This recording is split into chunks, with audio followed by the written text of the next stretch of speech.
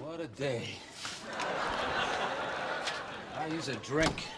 Tough day at the office? People kept coming in, and that phone just wouldn't stop. Well, we better get going if we're going to go to that uh, 7 o'clock cold fusion. Yeah, well, count me out. I'm swimming in it. Old man Leland is busting my hump over these reports. if I don't get them done by nine, I'm toast.